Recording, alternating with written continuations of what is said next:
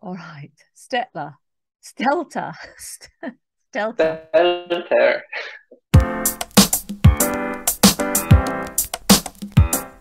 Hi, and joining me today is someone who I've been good friends with for a number of years. And even then, I had to ask, What's your surname? Or at least how to pronounce it. Is I'm, I'm joined by my good friend Szymon Stelta.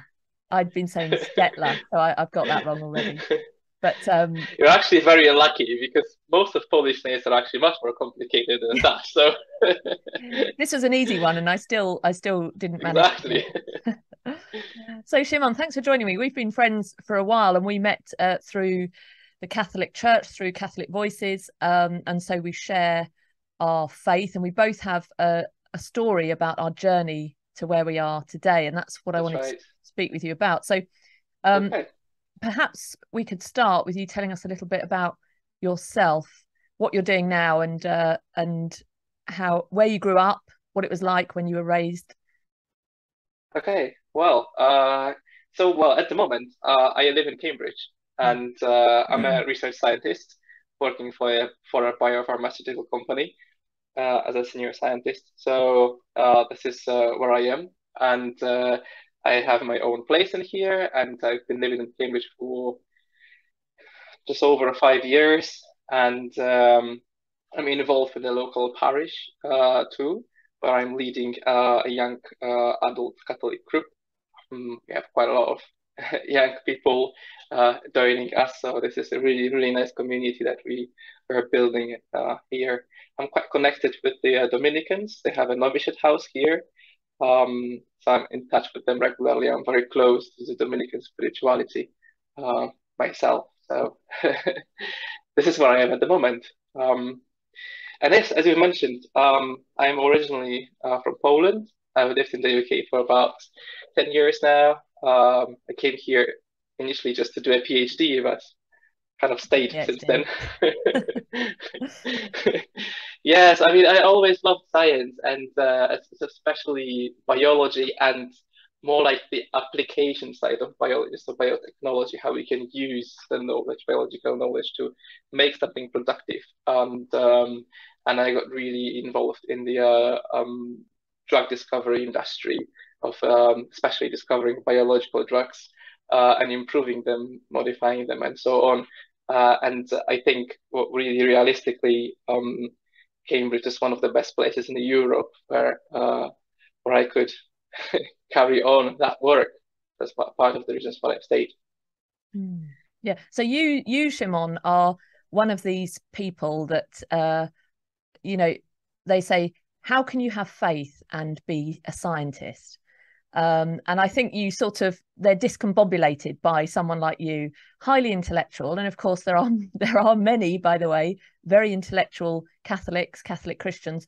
But you are doing your PhD. You went to Cambridge. You're still at Cambridge now. You're in in the pharmaceutical industry, and you are um, a man of faith. And so, mm. what I wanted to speak with you about is how you have found a way to reconcile that. Because whilst I know, and you know, that there is no there is no conflict. I think that people see there's a conflict between science and faith, and that one either is a man of faith or a man of science, or a woman of faith or a woman of science. Um, if I can start at the beginning, if I may, and take you back to Poland, you you were raised in a Catholic that's household. Good. Is that that's right? Mm-hmm. Mm. Do you want to tell us a little bit about that? Yeah, sure. So, uh, I mean, I was born in 80s, so uh, Poland was very, very still, very still strongly Catholic. Um, and um, so my family was uh, is practicing um, as well, and so uh, the faith was always there, and it was important. It wasn't like super important, I'd say. Like I never really prayed together with my family, even we never said grace before meals or anything. We just would go to church regularly, and uh, sometimes we would talk about God, but not really that much. Um, uh, but it was kind of maybe more kind of cultural Catholicism, I'd say. Um, although still still quite close to the heart, something that was kind of ingrained in us, right? Um, and uh, yeah, so that's that was my background.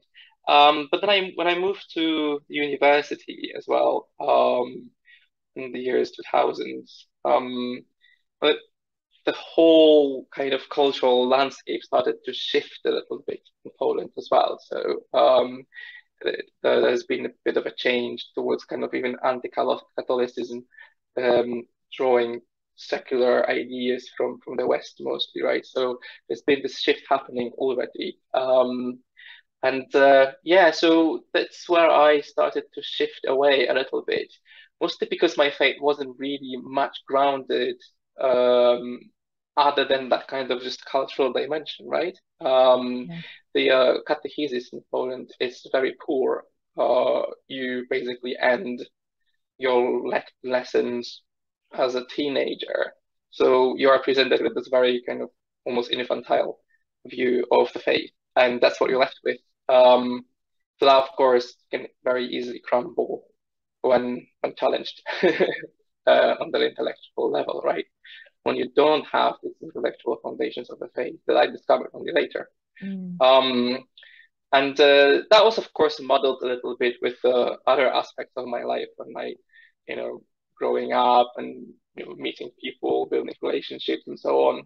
I started to struggle with some teachings of the church, especially around the uh, sexual ethics.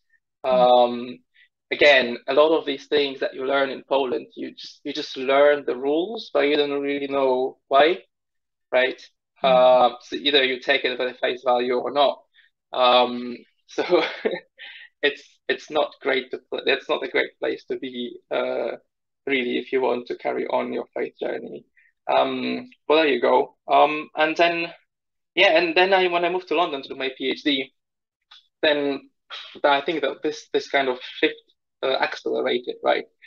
Suddenly, I found myself in a very secular environment um, among secular friends, and I kind of lived that way, although uh, I still kept kept my morals that I learned as a child, um, but challenging them, right? And um, yeah, I think that's what the shift happened, and um, and then then the intellectual doubts uh, started to creep in. Um, when I was being trained as a scientist, when you're being trained as a scientist, uh, especially at the PhD level, um, you you are trained in a very specific way, right? You always try to challenge everything, challenge all the assumptions, uh, challenge hypotheses, trying to find um, explanations uh, behind different mechanisms and so on, right? So um, you, it really sets your mind for a certain way of thinking. And um, one of the mistakes that scientists sometimes do is that they apply that way of thinking to other aspects uh, uh, outside the scientific uh, area, right? Um, but you just do it naturally because that's all all you know, really, right? Uh, you don't really get any philosophical training at that stage. Yeah. Um, so that that's that's a bit upsetting in a way. But well, there you go. Uh, so I was there, uh, very busy with my PhD, and um, I was at this point where you know I still would go to church on Sundays, and I would sometimes pray, um, because I quite like my faith. And there's all of good things that uh, you might want to like about it, right? It gives you hope, it gives you some promise, uh, mm-hmm. it gives you a bit more meaning. Um, so I liked it, but it was a little bit of an add-on to my life. I lived the, my life the way I wanted, um, and uh, I kind of kept it as a, as a little add-on, as I say. Um, well, at this stage, I thought, well, that was a bit unfair, and I need to be honest with myself, and I I need to decide, you know, either I I take it, I take it fully, or either I leave it uh, behind, right? there's no point. I felt like I was like one leg in and one leg out. Um, and it just, I just, it just didn't feel honest to me to be in that stage, right? Um, and um, the problem I had at that stage was that um, mostly I didn't have time to to think about it, right? Uh, uh, my PhD was really overwhelming. I you know, put all my passions aside, um, and uh, and I wanted to kind of sit down and dissect my faith. And the first, I didn't have time. Second, I was a little bit afraid to do that because I yeah. thought if I start, you know, touching it, it will just all fall apart. And I still kind of quite like it, right? Uh, so it's going to be two aspects. Yeah. So this is that is what basically happened and where I um, ended up um, in London. So that was my falling away part, if you like. I think that's a really interesting point because I think we mustn't be afraid. If we really believe this is true and we do, then we can hold it up to scrutiny and it will withstand. And this is something I've come to realize, and I know you have. And it's it's interesting that you say you were worried that if you started picking at it, it would crumble. And in fact, uh, Peter Kreeft always says, uh, I, am always talking yeah. about Peter Kreeft. I should get some kickback from him. um, um, he, he says oh he's great he's fantastic he's fantastic but he, he always says uh, something's only worth believing if it's true that's the only reason to believe anything is because it's true and so we've come to mm. see the hmm. truth the goodness and the beauty of our faith um, and so actually it sounds like your journey was different but in many ways but similar in others that it was when we started for me i was drilling into the faith into the teachings of the church in a way in all mm. almost in a way to as I as I've said before, disabuse people of their silly notions. L- let me find out more about what the church teaches to prove how stupid it is and how wrong they are. like me, you know, two thousand years of tradition, history, wonderful, um, you know, guided by the spirit, intellect, and here's me going, I'm going to show them. I'm going to show them their wrong. it's so ridiculous. Yeah. It's so ridiculous. But, a, a bit of pride. Digging, it's pride, absolutely pride. Yeah, and that's why when you then do that and you start to dig and you're doing the intellectual work, then God starts shifting something in your heart, in your spirit that mm. actually um, reduces you in a good way. This is why I really get that fear of the Lord. The beginning of wisdom is fear of the Lord. And people say, Isn't that terrible? God wants you to be scared of him. It's not about that. It's about recognizing who you are in relation to God and our dependency on God. Exactly. Um, so that yeah. it's more it's more that kind of feeling of awe, right? Yeah. This is often described. Disciples were often uh, filled with awe yeah. when when I don't know, let's say during Transfiguration, right? When Jesus showed themselves his glorified nature, they were terrified, um, yeah. but um, not in that negative sense, but with more kind of at awe. Yeah. Mm. Can Can you say something about how your relationship with Christ, your relationship with God shifted from a, a sort of dutiful, rule following, um, uh, uh, utilitarian almost. I, I like my religion because it's useful, it gives me meaning, mm. gives me hope, almost like a, a, a sort of tick box um, to a personal relationship, yeah. a personal encounter, um, a relationship of love. Can you can you speak to that? Yeah, sure. Um, so one of the things I struggled um, uh, intellectually was uh, the question of miracles as well. One of the things, mm-hmm. right? As, as a scientist, like, oh, we know things like virgin births, they just don't happen, right? Um, uh, so this is the, this is the thinking I had at that point. And then another thing I struggled with was the, the divinity of Christ. Mm-hmm. Um, and I think many people um, come to that point uh, uh, who are raised uh, Catholic. I was kind of scratching my head, you know, you've got this kind of random guy walking around and claiming to be God, you would think he's mad, right? Yeah. uh, and so, like, what was he really? What he claimed to be? And you know, it was maybe a little bit, you know, over a bit of a stretch. Um, so that's something I struggle with, like, the idea of incarnation and so on. And uh, and yeah, so that was kind of the background. I think in the background, I, I I couldn't, I kind of battled with this a little bit, but again, I just didn't really have much time, right?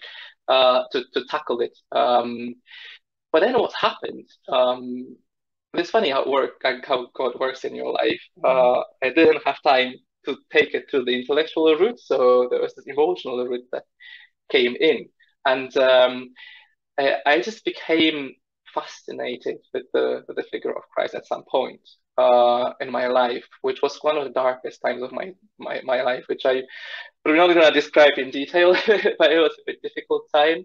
And at the same time, um, my mom had a very difficult time too. This was this was when um, my grandma, so my mom's mom, um, was basically at the end of her life. It was the last two years of her life um, when she, she was really fading and uh, becoming weaker and weaker. And my mom was taking care of her, um, and she really gave all herself to it. It was it was incredible to watch. Um, honestly, where she was there every day uh, to the level where she just couldn't bear it any longer. Like physically, it was difficult. Mentally, it was difficult, right? Um, and I remember every time I would go back to Poland, she would um, she would sometimes cry in my arms it was quite tough, you know. Uh, but it was amazing because it was she did that because she loved her, right? She wanted to she wanted her to have that dignified end. To um, she she gave everything she could for her mom, and it was it was something unexplainable, right? It was just that was just that pure love, um, like self-emptying love, right? And um, I remember she was saying at some point that um, God always gives you such a cross that you can bear. You can't. God doesn't give you more you couldn't bear, right? Um, of course, with His grace, um, and that every every suffering has an end, right? So death ends with resurrection. There's always light at the end of the tunnel. Um, so that's when I got a bit puzzled by the figure of Christ because I could see I could see it in her in herself, right? The way she approached that it was it was like the story of Christ. I could see this, and I understood that was um, a Good Friday um, when the priest was talking about the self-emptying love, that the cross, the image of the cross. Some people think, like you know, you're wearing a crucifix with a dead man there, right? But really, this is a this is a image of a perfect love, mm-hmm. self-emptying love that you completely give yourself away for another person. And I could see it in my mom's action. I got it. there you go. um, so at that point, I was like thinking that there's something about it, right? There's mm-hmm. something about it. And then when I moved to Cambridge, that's where basically things started to to change. Um, and uh, I've met some young Dominican uh, friars. There's a novitiate house, as I mentioned, and I got to talk to them. And um, and here they are, you know, 20 years old young men, um, very intellectually trained, um, often finished studies in Cambridge or Oxford, right? Talking about the faith in a way that I've never heard of. Um, and uh, leaving everything behind, right? Putting the habit on, uh, choosing the life of celibacy at this early age. Um, and it makes you think, it makes you think, well, there must be something. There's something about it that, that people make this radical decision uh, to follow Christ, right? So that's something that puzzled me as well. And then when you start looking uh, at the gospel stories and you start start actually looking at, at, at Jesus in the gospels, it's very difficult to square him in into anything, right? Some people say, oh, it's like a moral teacher and stuff, but yeah. well, it's not really just a moral teacher. He claimed to be God and he did things that are quite extraordinary. And then what happened after, all the disciples, they so they were so convinced that what they've seen was true that all of them except one were tortured to death uh, because they couldn't deny it. so there was really something very puzzling about it. So I think that's what eventually made me uh, made that shift in my head about the uh, incarnation, divinity of Christ. Um, if that makes sense. Um, so that's part of the story. Another part of, of what happened when I moved to Cambridge is um, I went to the chaplaincy here, and again, I, I encountered a lot of young students, um, some of them as young as 19, right?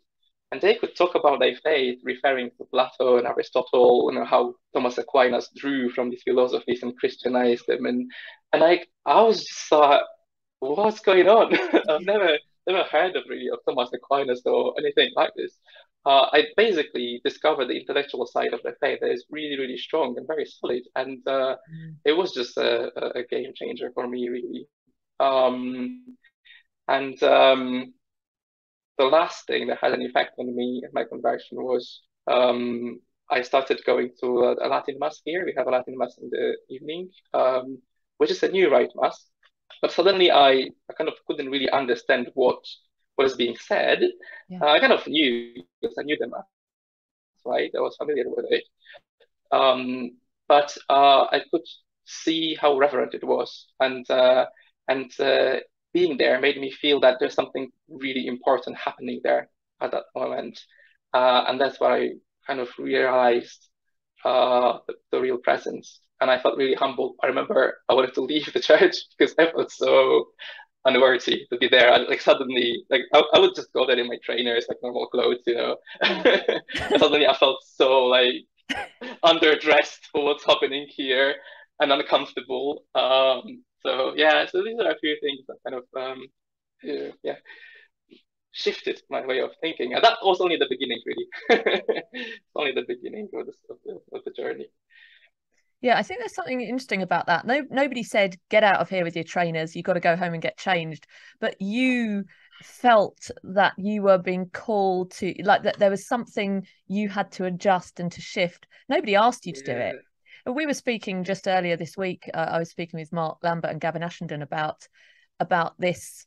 That when Pope Francis came in, one of the things he did was to say, "I want to be more simple and get rid of uh, these vestments and uh, have a stay in a simple um, apartment and wear a plain robe. And one thing that that I was saying is that I think in a way that's making it more about the man, not less, because actually the the, the vestments and the cathedral and the architecture and these things point to something transcendent, something beyond. So if we strip those away, then then what we're saying is actually I'm making it about me. So the very thing that I think, you know, this is just my assessment that the Holy Father was doing to make it more simple was actually making it more about the man and not the office. Um, and so you recognize that transcendence yeah, that you were in the presence of the holy. Mm. Yes, absolutely. So, but you are there, and then, well, what happens is uh, the structure is different, right? The the, the church is, is really beautiful. Um, mm. So it's it's set apart from the from the secular world. Yeah. The vestments uh, are set apart from the from the secular world, and the language itself was set from this this one spoken one is kind of uh, had it had another level of of, of sacredness and mm. Uh, and what is for me this is when these things clicked right when, with incense and the with reverence with where basically words were less important but actions were pointing to what was happening there yeah, I think that's beautiful. It's it reminds me a bit of that interview Bishop Barron did recently with Shia Shia LaBeouf. I don't know if uh, I said that right. Shia LaBeouf. don't know. Heard of him, yeah. So he, so he, by all accounts, was a, a, going through a terrible time. He's been accused of terrible things. He said he's been selfish and done all these awful things. I don't know the extent of it, but that he went to the Latin Mass, and like you, he spoke of not not necessarily understanding on that intellectual level what was being said, but this this presence of the holy, this presence of God washed over him. He's converted to Catholicism, as far as mm. I know, and it was through his experience of the Latin Mass. And I find it especially interesting. And this isn't some kind of church politics, me mm. praising the Latin Mass, because you know I, I love Mass. I love in in all its forms any access point through the Mass to Christ uh, and the real presence. But it, it's interesting for you as a man of science that I think that we're desperate, aren't we? And especially in the modern world, to be able to explain everything away, to be able to this sort of scientism, to be able to reduce everything and explain it. And hmm. then you came up against some difficulties and some challenging times in your life where you realized science can only go so far. And there's the human heart calls for something more, something transcendent. And in fact, you can only do science because you accept certain philosophical presuppositions. And this is what worries me about you saying there's no philosophy in science. I feel it should be compulsory that the study of science should be accompanied by philosophical study. Yeah. Absolutely. I, I, I, was really upset by my um, my, my uh, colleagues, uh, students at university, because many of them were quite technocratic. Like they, they really focused on the molecular biology that was kind of you know the god of uh, of science, right? And all the other subjects that we had, we did have philosophy for half a year and half a year ethics. They're laughing at it, honestly. Yeah. Um, it, yeah, it was it, it was really upsetting. They didn't treat it seriously at all. Um, yeah, and we had some economy classes, project management. They didn't think it was important at all um, all that mattered was this kind of, uh, you know, uh, hard science, if you like, anything else. So it's not only religion; it was humanities. You know, they would they would actively laugh at it. So, but it tells more about them than uh, actual. Um, or in in the philosophical training, but also ethics. I Mm. mean, now when I look at this, you know, you train people how to modify DNA, um, and uh, we can do it pretty easily nowadays with the new methods. Mm. Um, but you're not really trained uh, in the ethical field No. uh, at all. So And this and this is the problem is um it's it seems to be quite actually mind-blowing if you think about it. well it does because it's it's like with great power comes great responsibility. This this idea that, that if you if you just like they're laughing, you said there's they're just laughing at this study of philosophy and ethics, like why are we doing this? Let's just get through it. But in fact, um, if you get rid of that final end, if you don't know why you're doing something, you just can. Just Mm, because you can do something doesn't mean you should. You can create an atomic bomb, but you don't know whether you should drop it or not. You can use plastic surgery to heal war wounds or to create big breasts. What, where's the value judgment? And and to to ignore that and to say that doesn't matter Mm, seems alarming to me. Sorry, we're having a we've had a few connection issues, so uh this if it's jumpy, you know why. But I'm gonna we're gonna persevere, aren't we, Szymon? Um, and one of the things I said to you uh, near the beginning is that there is a tendency for people to think that you are either scientific or you're a you're a person of faith. That that um, some people think that the two can't be reconciled. I know uh, Saint Pope John Paul II wrote in Fides et Ratio, faith and reason are like two wings on which the human spirit rises to the contemplation of truth. And I know that's something that you can speak about. Do you want to say a little bit more about that as how you how you reconcile the two? Yes, sure. Uh, it's funny because after my conversion, I've noticed I had a few people like when they would, I don't know, either they knew me uh, as a scientist at work, right? And they would find out that I'm a Catholic and they were like, oh, but how can you be religious? or, or sometimes I would meet people like, I don't know, on the street or whatever. I was like, once I was spoke to, spoke to one homeless person, took him out for breakfast and then was asking what I was doing. And I said I was a scientist and, uh, and then it's like, so what did you do in the church? Because I out of the church. Um, so that's quite funny. So yeah, there's definitely this uh, conception, which is really sad. And I think um, I think the main reason why people think that these things don't go together, I mean, there's, there's multiple reasons, but I think it boils down to understanding of science actually. Mm. Um, and even many scientists don't think about what science is, what the limitation of science, and uh, the proper area, and um, even the methods of investigations. They don't necessarily uh, think about them, right? They just Mm. do it. Yeah. um, uh, yeah. So I think it really boils down. So when I talk about it, I usually try to uh, start with sciences and um, and uh, and and try to explain that well science really uh, is is just this area where we can apply apply empirical um, methods to describe natural world, right? Uh, so you're looking for natural explanations of natural phenomena within the natural world, okay?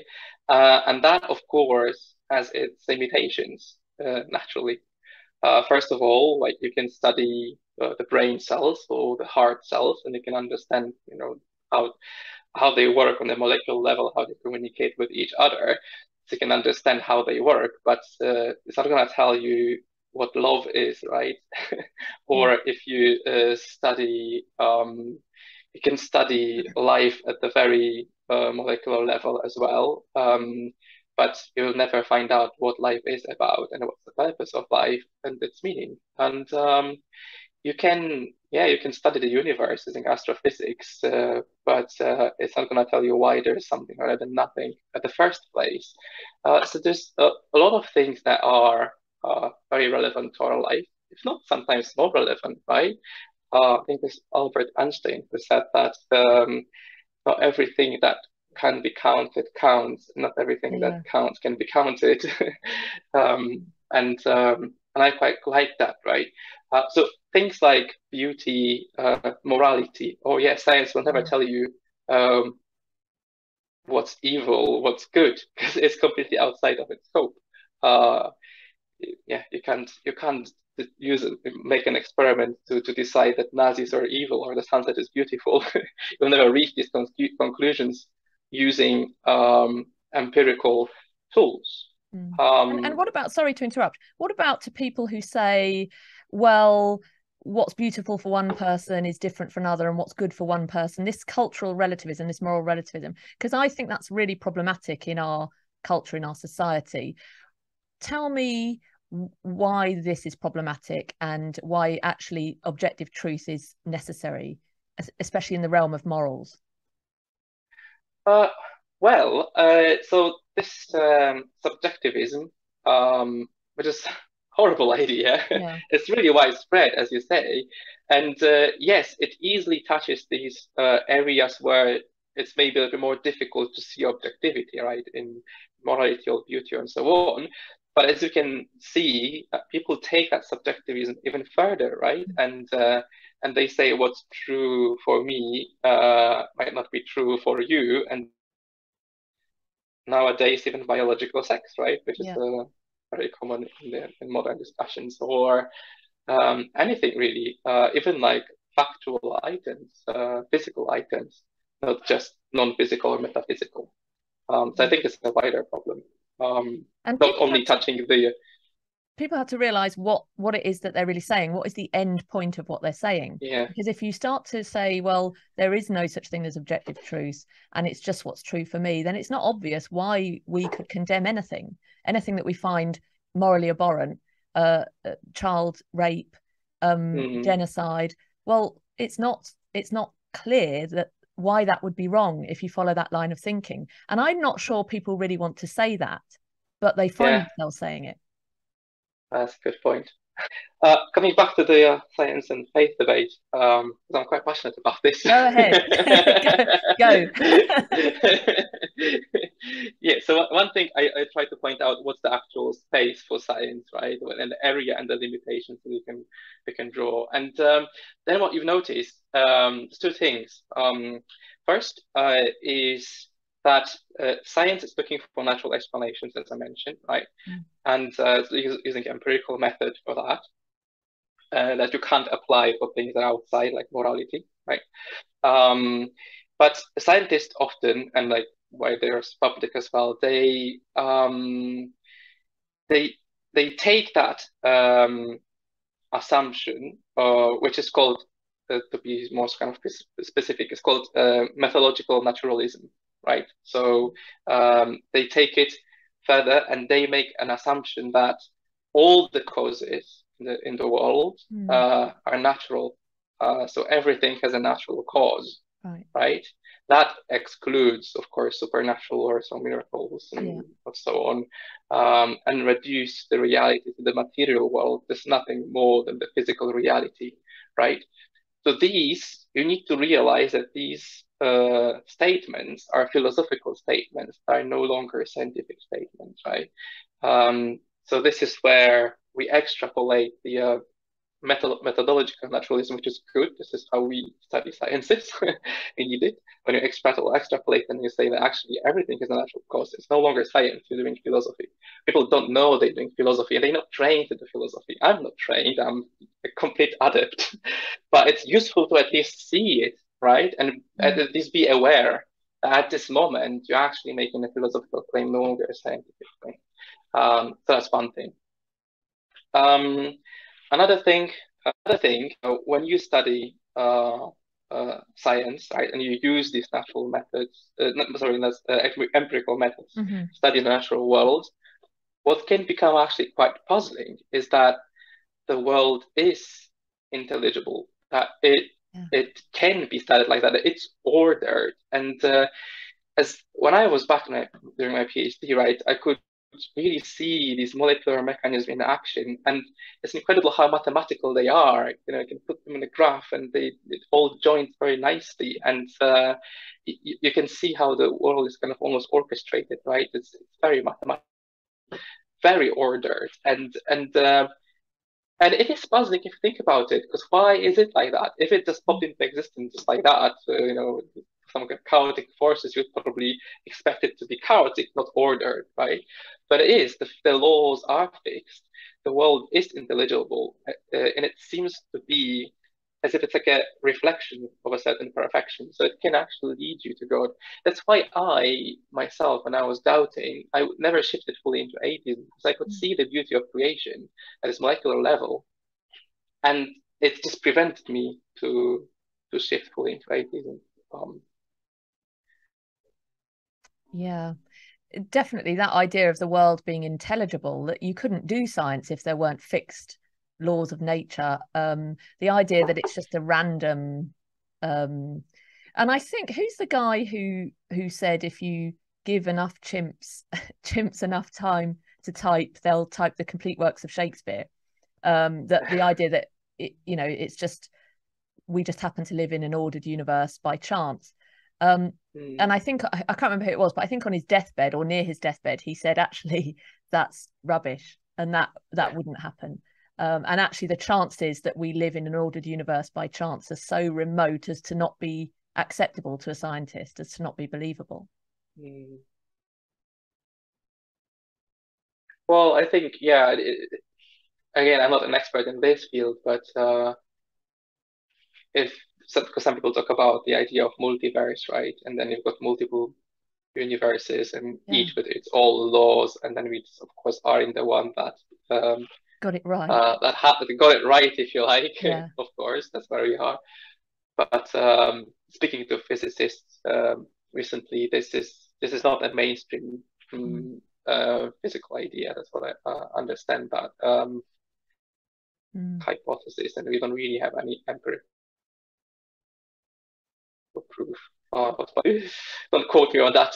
no, okay. won't, won't get you to sign anything. Uh, but I, I think this is, I think um, this is the thing that. Uh, so I, I'm particularly interested in young people in teaching young people. Like you know, I'm a teacher. I have been for over 20 years, oh, yes. and I encounter this in the classroom. First of all, they don't realise that the conditions are so perfect for life to exist that if they had been even remotely slightly different there would be mm. no life on earth that it's unbelievable they don't even know this um, yeah there's several uh, physical constants right and mm. uh, if you move them a little bit then atoms wouldn't join properly and stuff like that so yeah uh, yeah but they also come to me absolutely sure and i find it amusing to i mean i don't i don't want to say i wind my students up but I question them. So they'll say, oh, when we do creation, so for example, when we're doing about the creation story in Genesis, often they're not interested. They become interested, but they begin disinterested because they're like, well, science tells us all the answers. This is just an old fairy mm. tale and it's pointless. And the theory of evolution, come on, miss, get with it. And then I say to them, oh, I'm, I'm not too sure about the theory of evolution. Can you tell me about it? And then they say, "Well," yeah, and they start to look around a bit shifty. Um, there were apes, and then they became humans. Oh, really? There were there were apes who became humans. Can you tell me a bit more about that? And suddenly, they realise that they've just they've just been fed this, and they just repeat it. Now, this isn't a question about whether evolution is true or, or but it's a the point is they're very happy to swallow and to accept these ideas without question but then mm-hmm. and and to dismiss uh, religious claims or to misunderstand and not to push further. Uh, that when you drill down, they don't know. They don't know. You know, so it's just encouraging them to to think. So the creation stories, for example, we go when we look at those, we say actually what it doesn't matter whether you find the fossils of Adam and Eve. It doesn't matter uh, whether there was a garden and if you can't find it, it wasn't true, because there are there are truths rooted deeply in that story. It's a story told to reveal a deeper truth. And the only way it can be revealed is through story. And is it or is it not true? You know, that that, that, that men and women are different and complementary. Com- I always struggle with this word, complementary. Uh, and I talk about the boy who cried wolf. And I say, whether we find a boy on a hill, the dead bones of a boy, and all the sheep and the villagers and the pitchforks they use to run up the hill is irrelevant is it or is it not true that if you lie, people will lose faith in you? Is it or is it not true that you have to watch for danger around you? Oh, yes. Yeah, miss, actually, that is true. So you so this idea, this sudden this kind of realization that you can learn deep truths through story, through narrative, without having to say it's false because it's scientifically false. There are other ways. Oh, absolutely. Truth. Uh, you need to approach each text Ooh, I can hear myself. Oh, that's annoying. Hey, wait, wait, wait. It's fine now. I don't know. It was a bit of a glitch. Um, you need to approach it, each text uh, accordingly to to its genre, right? Uh, you, you wouldn't read Peter Pan and then suddenly go around the world trying to find him or something, right? Yeah. or you wouldn't take the uh, uh be a big waste of time oh, if you did. Yeah. exactly. Although maybe think of people playing Pokemon Go. yeah, oh, don't.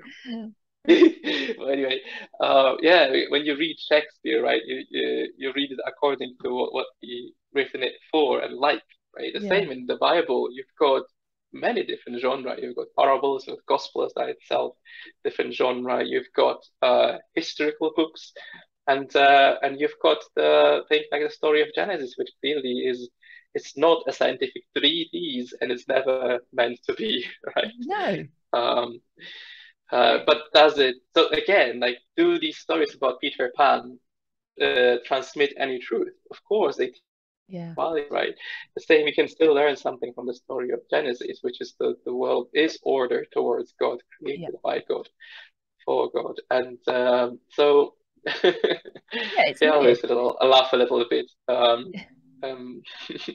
oh i can actually add something interesting to what you said uh, about your students um, well, accepting the, the theory of evolution very mm. glad they do so uh, but um, uh, as you as you notice, they take it uh, as on the on based on faith, right? Well, that, that's it. Yeah.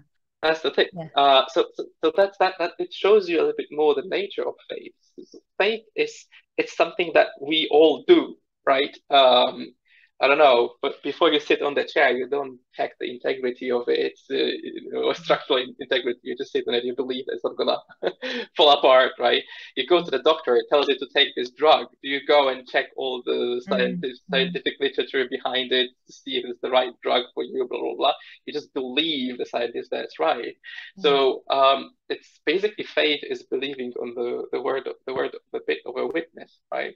Yeah. Um, and then the only diff so that's what uh, Saint Augustine would say, and yeah. all we all have to have faith, otherwise we would not be able to function in the normal world. Um, but what Saint John Henry Newman adds is that what's different about religious faith is not the act of faith, it's subject, right? So we believe the theological truths, um, but they are revealed to us um, by God. uh, so it is divine divine revelation that we accept, right? As we accept that the words of doctor, uh, GP who prescribes a, a medicine, right? So it's a, it's a similar act. It's just the the the the, the subject is different. Um, yeah, no, that's brilliant. I think so so important to hear as well, um, and also this idea that um, it's it needs to be universal and I, I think I think it's all very well saying, well, science will give us all the answers, but let's be honest, the sort of creature we are, we can't access those. Very few are able to access. I'm thinking as, I mean, I'm keeping up with you ish. Uh, no, I am. I'm keeping up with you on your site, and I do when we discuss things. But it reminds me of when I was young, and my brother, who's a chemical engineer, used to help me with my maths because I'm a, I'm a I'm not very good at maths and we used to sit in the kitchen and he'd help me and he'd get really frustrated because he'd say what are you doing looking out the window at squirrels? And i i was just looking at the squirrels running up the tree and he said i'm trying to teach you maths. You've got to listen and pay attention. But my attention was drawn elsewhere.